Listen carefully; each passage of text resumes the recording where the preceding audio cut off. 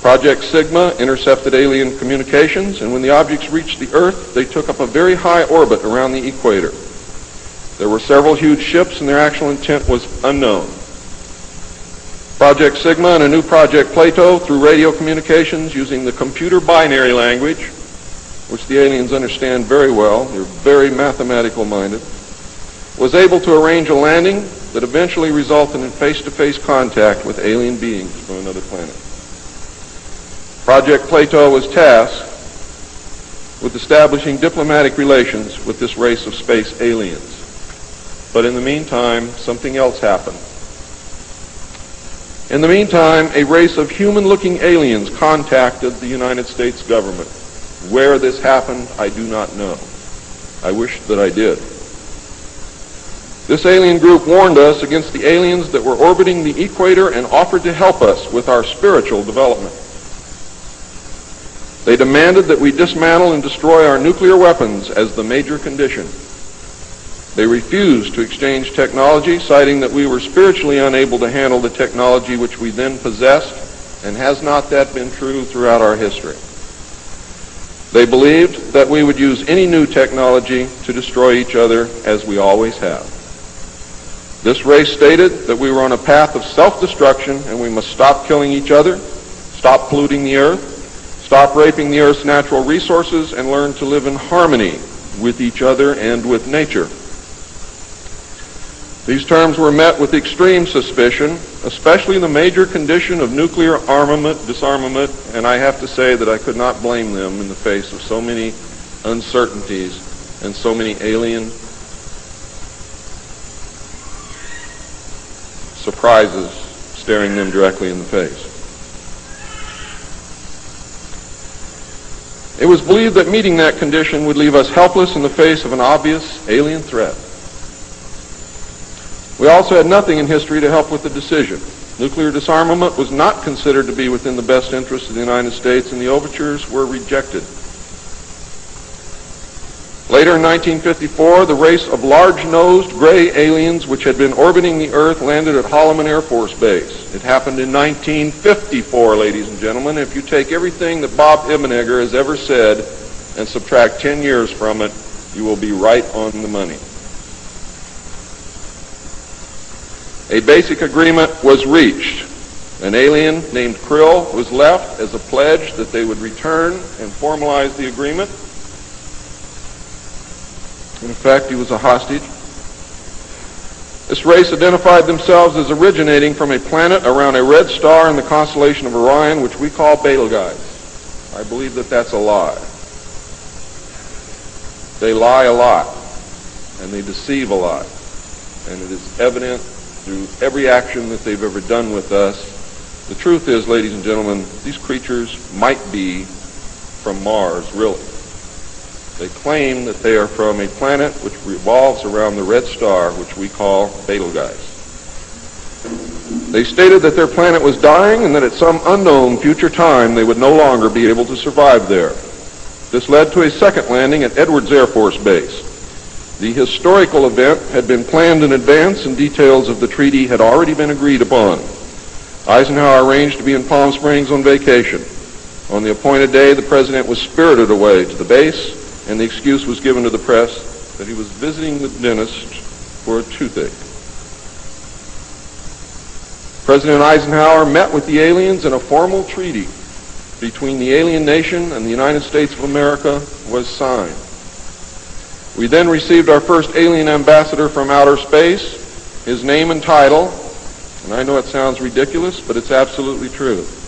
His name and title was His Omnipotent Highness Krill, pronounced Krill, spelled K-R-L-L-L or C-R-L-L-L.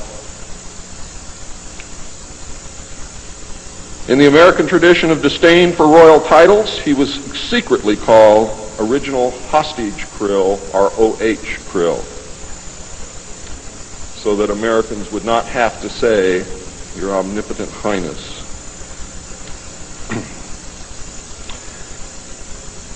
You should know that the alien flag is known as the trilateral insignia. It looks like a TP with two circles on either side of the V and one pole running straight down the middle.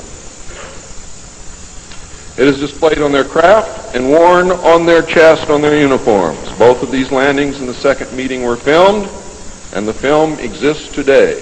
Where it exists, I do not know, but I do know that it exists.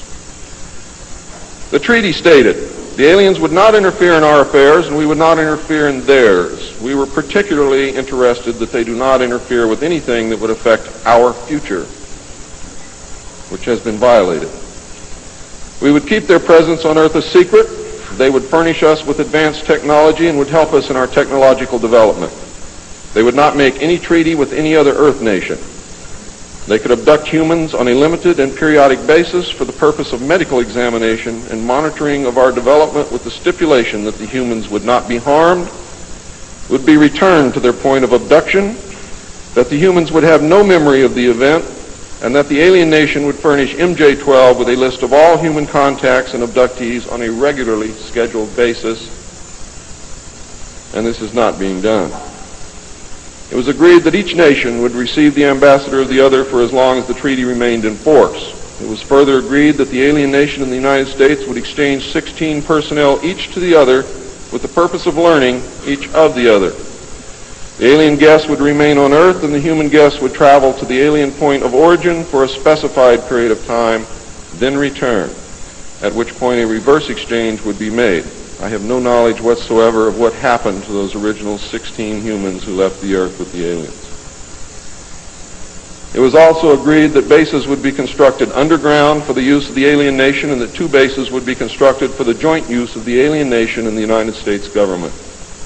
The base at Dulce is one. The base at S4 in the area known as Area 51 or Dreamland is the second. Exchange of technology would take place in the jointly occupied bases. These alien bases would be constructed under Indian reservations in the four corners of Utah, Colorado, New Mexico, and Arizona, and one would be constructed in Nevada in the area known as S4, located approximately seven miles south of the western border of Area 51, otherwise known as Dreamland. All alien areas are under complete control of the Naval Department, and all personnel who work in these complexes receive their checks from the Navy. Construction of the bases began immediately, but progress was slow until large amounts of money were made available in 1957, and in the meantime, work continued on the Yellow Book with the information derived from the guests.